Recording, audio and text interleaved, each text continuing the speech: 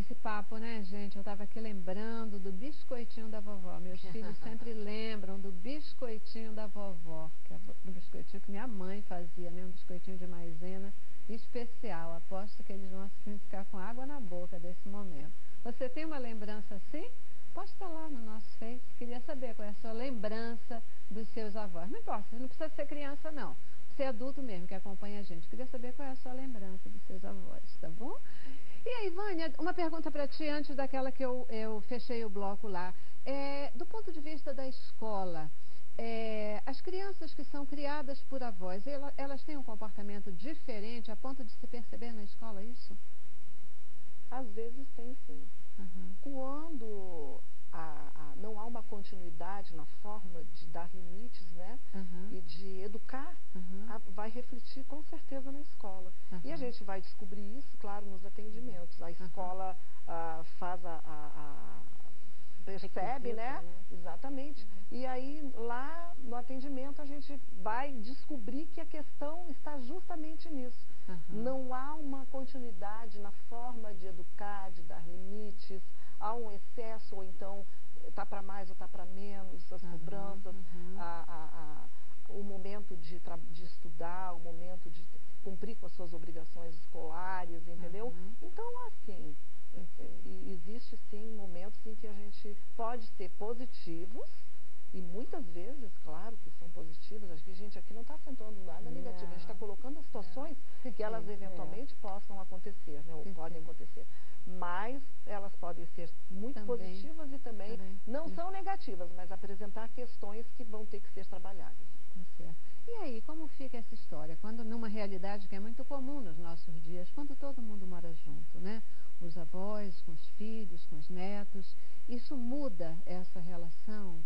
É, quais são os cuidados que precisam ser tomados? Bom, a princípio tem que se mudar os hábitos, porque são duas situações. Você muda os hábitos, teus hábitos, pai e mãe, mudam os hábitos quando os filhos saem, se casam e saem. E se eles voltam, você tem novamente que se adaptar. Reestrutura, e, né? Reestruturar.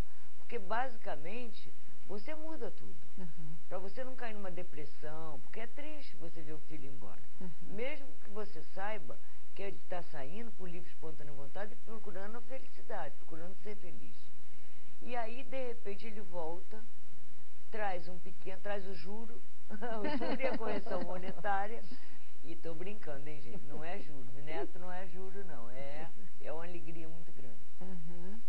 Mas aí você tem que se reestruturar toda de novo, entendeu? Porque você cria hábitos. Você está de novo sozinha na sua casa com seu marido. Uhum. Você cria novos hábitos. Uhum. Passa a receber amigos, né, adultos como você.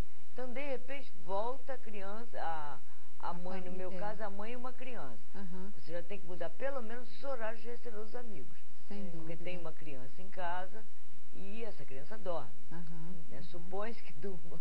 Mexe na, na infraestrutura, né? E ela está até falando numa situação onde esses filhos voltaram para casa dos pais, mas Com também tem aquelas noção que, que os pais vão para casa dos é. filhos. Quais eu, são é. os cuidados? Pois é, eu nessa? queria aí também uhum. ressaltar a questão econômica, né? Uhum. nós estamos uhum. vivendo numa situação em que os recursos econômicos Tem que haver estão, essa junção de novo. Estão porque... precários uhum. e muitas famílias estão se reunindo é. por conta da falta de estrutura econômica. Dúvida. Então, todos sofrendo na casa por essa questão. Isso. Então, nós, eu, eu reparo que são dois movimentos. Ou eles se unem por causa da privação e por causa de todas as dores e do, necessidades, das necessidades é. que eles estão passando, e aí Isso. se unem muito, ou vira aquela situação de atrito, porque eu estou usando a pensão do meu pai, meu uhum, pai não está uhum, gostando uhum, e está danado a vida porque está tendo que, que, contribuir com o neto e aquele dinheiro é pouco, então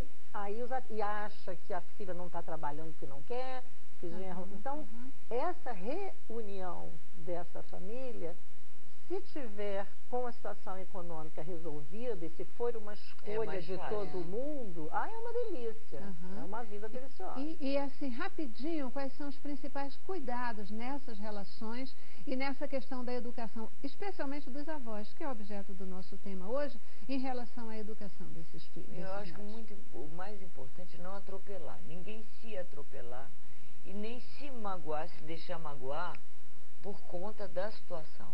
Atritos vão acontecer. Perfeito. Por quê? Do momento que uma pessoa sai de casa, ela cria uma nova visão do mundo. Uhum. E ela tendo que voltar, ela tem que se submeter àquela, àquela antiga.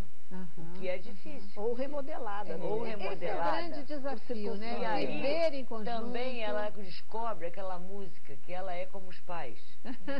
Entendeu? Não tem uma música assim? É verdade, é verdade. Eu, eu, eu acho que é da Rita Lee, é, é, somos é. como nossos pais. É. Só que eles não querem ser como os pais. E quando a ficha cai, eles pensam eles voltam, que eles não vão ser. Aí é duro para eles admitir também, né? Pois é, E queridos. esse respeito com a educação, eu acho que é muito importante. Perfeito, perfeito. Olha, o nosso fazer, tempo acabou. Acabou. Uhum. Não, eu digo assim, porque fazer, uh, harmonizar essas situações depende de muito sabedoria, de muita exatamente, sabedoria, é muita sabedoria, sabedoria e amor, e amor, e amor exatamente. Né? E a, eu, só, eu, só, quero falar o seguinte assim, a gente tem ouvido muito, eu tenho ouvido muitos programas que falam sobre a questão financeira dos idosos, onde uhum, eles estão uhum. com os seus salários totalmente comprometidos Defasados. com empréstimos, né, é. para poder ajudar os seus filhos. Isso. E eu trabalho num, num local assim, uh, onde eu vivencio muito isso. Uhum. Eu faço um trabalho uhum. social na ilha de Guaratiba, então a gente vê essas famílias é. passando por esse é. tipo de situação. E é uma esponja.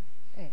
Queridas, olha só, nosso tempo realmente acabou, né? Eu preciso encerrar o programa. Muitíssimo obrigada pela presença de vocês. obrigada a você. É, obrigada a você por essa oportunidade. É, é uma delícia conversar com leve, vocês. Não é, leve, né? muito leve. É muito bom a gente e poder boas reflexões, aqui. Né? É verdade, é, né? Outra coisa que eu, que eu esqueci de falar, só um segundo, a respeito da religião. Uhum. Não é a religião, o tipo de igreja que a pessoa vai frequentar mais Jesus, vamos colocar mais Jesus no coração. Né? Vamos, vamos acreditar mais nele, ter mais fé em Deus, uhum. entendeu? Em Mãe Maria. E vamos, vamos em frente, eles Perfeito. vão dar força. Perfeito. Na verdade, a grande essência da questão, né, quando a gente diz colocar mais Jesus, colocar mais amor, colocar porque Deus é amor, Jesus isso. é amor, né? E isso vai fazer toda a diferença uhum. na vida de todos nós. Eu tenho nós. uma citaçãozinha tá. que diz assim, ó, Ai, amar é um ato de fé. E quem tiver mesquinha fé, terá também mesquinho amor. Perfeito. Então, Obrigada, acabou, ninguém fala mais, não tem nenhuma citação. Obrigada pela presença de vocês. Obrigada a você que está aí em casa. Aproveita hoje e dá um beijo gostoso na sua avó, no seu avô, no seu neto, na sua neta, porque essa relação é uma relação muito boa. Que Deus abençoe você. Obrigada pela sua participação. Terminamos o programa deixando a Alda Célia ainda nos abençoar com um pouquinho de boa música, tá bom? five.